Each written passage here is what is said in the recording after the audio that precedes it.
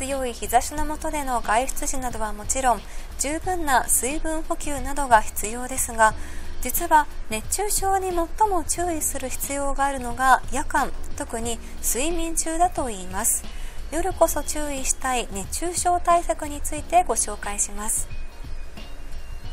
この夏も昼の猛暑日同様熱帯夜が増えることが予想されます。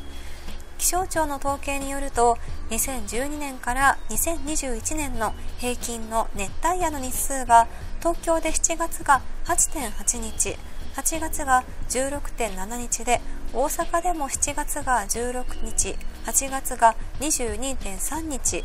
特に東京の8月は7月に比べて2倍近くも熱帯夜の日が増えることになります。夜間の熱中症に注意すべき日々の訪れは8月に入ってからと言えます。日差しの少ない夜間は室温も下がっているはずと思いがちですが油断は禁物です。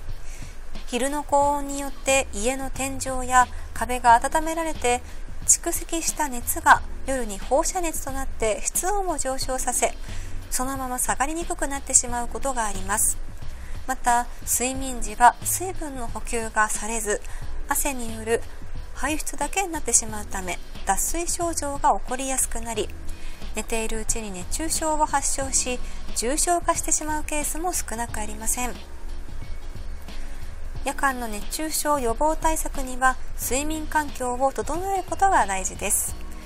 寝室でもためらうことなくエアコンを適切に使用し就寝前にはコップ1杯の水か甘さを控えたスポーツドリンクを飲んで十分な水分補給をしましょう